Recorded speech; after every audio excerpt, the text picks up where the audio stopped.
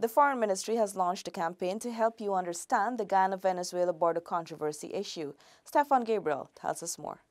Minister of Foreign Affairs Carl Greenidge said that this addresses the concern of ensuring the general public is more aware of the matter. It also seeks to bring more young people on board in the public awareness campaign.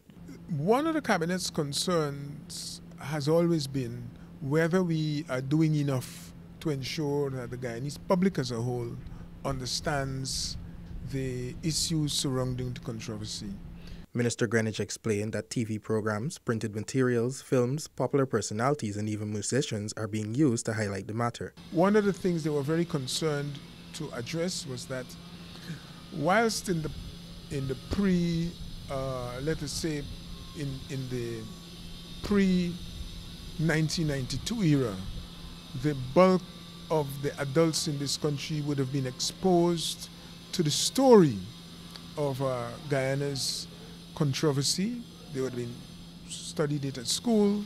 They would have been in trade unions, in NGOs, and in other entities. It is the foreign minister's hope that by disseminating the information in simpler, more eye-catching format to as wide a geographic range as possible, citizens would be better able to understand the issue and know that Guyana stands unwavering on its position. For InfoHub, Stefan Gabriel.